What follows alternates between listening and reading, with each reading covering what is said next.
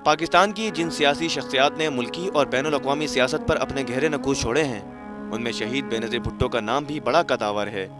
वो इकतदार में रहीं या ना रहीं, हर वक्त मीडिया में किसी न किसी दौर मौजूद ज़रूर रहीं।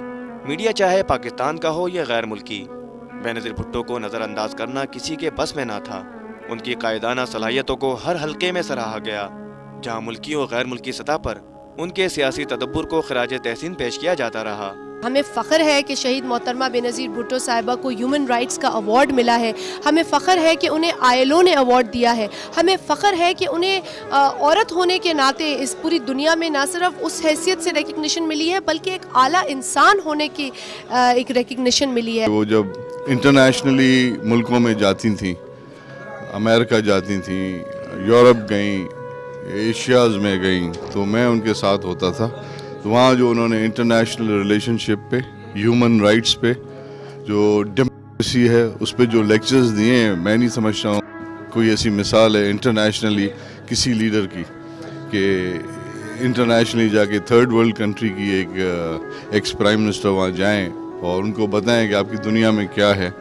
और लोकल लोगों को पता नहीं होता था कि उनकी दुनिया में क्या है। उन्होंने अपनी जलावतनी में जिस तरह से पाकिस्तान की बकाव सलामती के लिए, पाकिस्तान के मजलूम महकूम आवाम के लिए, पाकिस्तान की तरक्की और खुशहाली के लिए अपने आप को वफ़ किया था, उसकी मिसाल तारीख़ में कहीं नहीं मिलती।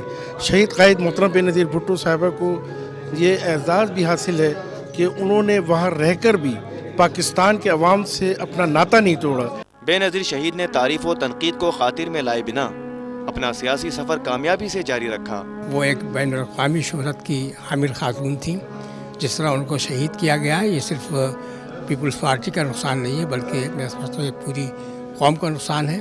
अगर आज वो ज़िंदा होती तो गालिबा वो सूरत पैदा नहीं होती जो आज है। मीडिया की एक बड़ी पसंदीदा शख्सियत भी थी और पाकिस्तान के मामला पर भी उनका बड़ा अबूर था और आमरीत के ख़िलाफ़ भी उन्होंने बड़ी डट के बात की इस लिहाज से